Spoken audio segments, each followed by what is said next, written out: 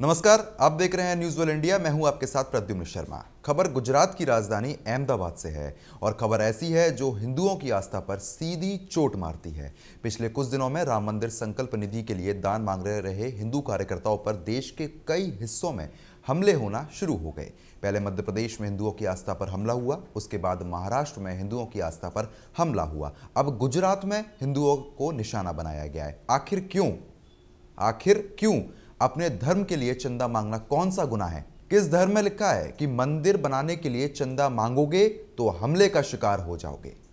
घटना गुजरात के गांधीधाम के किदाना की है। कुछ लोग राम मंदिर के लिए चंदा मांग रहे थे, लेकिन दूसरे समुदाय के लोगों को इससे लेकर काफ़ी परेशानी हुई। इसको लेकर दो समुदायों की, समुदायों के बीच संघर्ष भी हुआ है, जो दंगे में बदल गया। ये घटना रविवार की शाम की है। घटना उस वक्त हुई जब हिंदू कार्यकर्ता अयोध्या में निर्माणाधीन राम मंदिर के लिए चंदा इकट्ठा करने के लिए निकले थे। पुलिस अधिकारियों की माने तो मामला दो समूह के बीच के संघर्ष का है। हालाँकि पुलिस ने घटनास्थल पर पहुंचकर स्थिति को नियंत्रण में कर लिया, लेकिन बड़ा सवाल यह है कि आखिर ये शरारती तत्व कौन थे? पुलिस ने बताया कि गाँव में राम यथ यात्रा पर कुछ शरारती तत्वों द्वारा पत्थरबाजी के बाद यह संघर्ष शुरू हुआ था, जो बाद में हिंसक हो गया।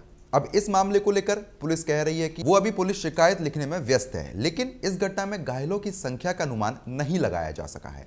एफआईआर दर्ज करने की प्रक्रिया पूरी की जा चुकी है। स्थानीय मीडिया के अनुसार स्थिति इतनी भयंकर हो गई थी कि दंगेबाजी में बदल गई। और वहीं कहा जा रहा है कि भगवान श्री राम के रथ के पास एक समूह जमा हो गया और अचानक उसने वहाँ आगजनी शुरू कर दी।